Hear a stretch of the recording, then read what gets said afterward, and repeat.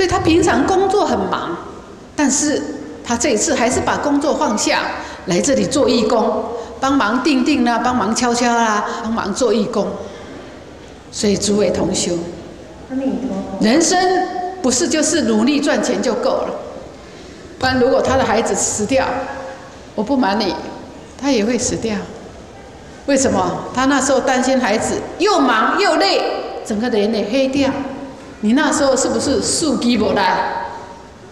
我那时候其实说来真的是非常的忏悔啊！我那时候已经是因为小孩子生病，我自己都没有办法睡觉，所以经常呃就像一直讲的四肢无力哈，然后经常头晕哈。我说开车开到一半就晕的。没办法开车，他真的是非常感恩地藏菩萨的那个救度，电视上的这个救度哈，都在这个高速公路上很多很非常危险的情况之下化险为夷，突然都是头晕的没办法这个开车，都在他车上要躺一两个小时，他帮我在开车这样子。诸位同修，你看家里如果有一个人不好，影响到整家人，你看他差一点在海位上面。所以我才说，我要救孩子，第一一定要先救爸爸的意思就是在这里，因为我救他，他也会用功跟我配合。嗯，你你刚才有听到他讲，他在海位上面好几次晕，就要走掉。所以恩师才说你们要保重。所以啊，那个坡炉坡炉不可以随便用，好不好？我这一次去美国，才发现很多人都用坡炉。那个坡炉只要泼过的东西。都变亚硝酸盐，吃下去整个细胞都病变。这一次我从美国回台湾，有人有一个男人来跟我请法，他太太胃癌。我问他说：“你太太有没有吃菠萝的东西？”他说有，他去上班带便当，才两年而已，中午那一餐泼而已，胃癌啊！现在头发都掉光光，不行了，在急诊室。又一个来，我又问他，也是他太太癌症，肺癌，说有没有吃菠萝？他说有啊，家里方便嘛，大家都忙嘛，啊泼一下一分钟就吃了。所以你们要很小心，好不好？还要小心。我不知道，因为恩师就是每天有癌症的人来请法这么多，我就开始去研究，什么原因？为什么会这样？除了业障之外，一定还有原因。哦，原来很多化学的东西，很多农药的东西，很多水的不干净，很多东西都出问题，还有防腐剂。所以那个酱油啊，有一种没有含防腐剂，要买来吃，懂不懂？所以我们吃东西要很小心，好不好？不然你看一个孩子出问题，一个一家人都完了，整个身体都完了，很辛苦。所以诸位同修。你看，现在这位居士，他太太也学佛，很虔诚。他的孩子哦，尤其是活过来那个 baby 啊，好乖哦。每次去看到呃师公，师公一定要拜拜哦。师公跟他鼓励，叫他吃营养，现在很乖了哦。非常感恩师傅哦，我这个老三的这个小朋友哈，他非常听这个师公的话哈。他小孩子难免都很喜欢吃糖果哈。那他便恢复好了以后，还是会去吃糖果。那有一次在禅寺的时候，师公就告诉他说：“你以后不可以吃糖果了。”从那一次以后，他到现在都没有再吃过糖果。他师公给他糖果，他都拿回去把它存起来。然后阿妈如果从南部回来北部找他的时候，他就把糖果叫阿妈拿回去给阿公吃，吃点安这样子。阿弥陀佛，阿弥陀佛，诸位同修。这个就是爸爸用功，孩子善根就增长。你看，师公叫他，因为我都会给他糖嘛，但是我都会跟他说：“你看就好，不可以吃哦。”那他就不敢吃了。哦，那你们还可以吃的，懂不懂？他是偶尔可以吃，但是我是不希望他吃太多，懂不懂？所以你们不要觉得恩师吝啬，懂不懂？因不能吃太多，所以我都给你们一颗就好了，就是这个原因，懂不懂？哦，所以他现在一家人。已经能够非常幸福快乐，所以恩师教你们掌握自己幸福人生，所以每一个人都要这样掌握，好不好？好。所以有没有觉得幸福的人生非常重要？是的，非常重要。所以他现在朋友要去哪里，他不会随便跟他去，他是先去用功比较重要，修福修慧比较重要。哦，啊嘞，做功德比较重要。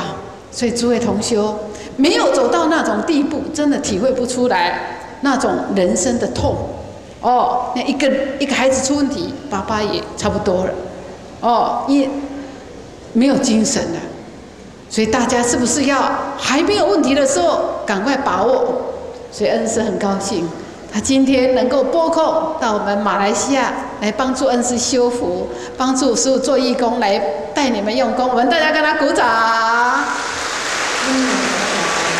祝福我们诸位同修阖家平安。祝福诸位同修，大家事业顺利，财源广进，出入平安，内外吉祥。阿弥陀佛。阿弥陀佛。问讯啊，问讯。阿弥陀佛。诸位同修，阿弥陀佛。伟大的地藏菩萨，大慈大悲，救苦救难。所以恩师非常忏悔。恩师只不过帮助地藏菩萨来帮助大家，所以连他的孩子都会看到师公从天上飞下来，哦，跟他在笑。这个就是恩师几十年来观想地藏菩萨的悲心愿力，将来帮助众生。所以希望大家对自己有信心，好不好？好。哦。还要对地藏菩萨有信心啊！不要误会地藏菩萨，地藏菩萨是一位伟大的大菩萨。你看，恩师为什么要把《地藏经》讲完？世尊释迦牟尼佛他说，地藏菩萨的威神得力太大了，只要你称念他的圣号，你可以避免堕入三恶道。为什么他的功德力会这么大？因为他太伟大了。所以他记住很伟大的威神得力，所以他的孩子才可以得救，懂不懂？因为他遇到苦嘛，医生已经叫他把孩子送去，要准备后事啦。所以他内心失去一个孩子那种痛，他就把那种痛化悲哀为坚强，用功。所以他那时候用功非常专心，没有杂念。如果再这样把握用功的话，他要成菩萨会很快。所以我们就是要这种专心，懂不懂？你爱，这就是。所以我们做太太的要知道，妈妈很爱儿女，父亲也是很爱，只是父亲有时候不善于表达，都是板着一个脸，嗯，不可以乱哦，乱要打你哦。所以以后不要对孩子这样，懂不懂？哦，要跟他们走在一起，跟他们打成一片，这样懂不懂？我们台湾全国电子哦很厉害，他们做的广告 very good。有一个广告，他就做一个爸爸，很威严，他很爱他的孩子，他买一台收音机要送给他，他很开心要送给他啊，但是跟孩子就说要够哦，要够哦哈，回宾个安呢。你看，我从那个影那个影片就想，嘿，做爸爸的哈，我要来教你们做好不好？做爸爸的子不教父之过，没有错，但是不要用这一套，好不好？你用这一套，那个孩子都给他皮皮错，好给他皮皮错，这样懂不懂？听得懂吗？懂。孩子会害怕，用温和的跟他说：“哦，你这一次成绩很好，爸爸买收音机给你，啊，你要顾好哦，哦，哦，顾好才不会故障哦，懂不懂？不要蹦着那个脸，懂不懂？一蹦着那个女，孩子会怕你，会误会。我常常在处理一些儿女误会父亲。”哦，真的很吃亏，所以伟大的父亲要记得恩师这一句话，好不好？好。哦，因为既然他会怕，跟你又会有代沟，不能你就用笑脸给他，懂不懂？哦，那这样又可以帮助他，又没有问题。